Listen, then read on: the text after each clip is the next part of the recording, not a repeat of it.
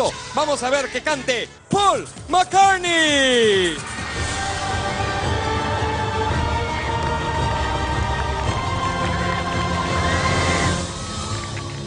I am Sir Paul McCartney.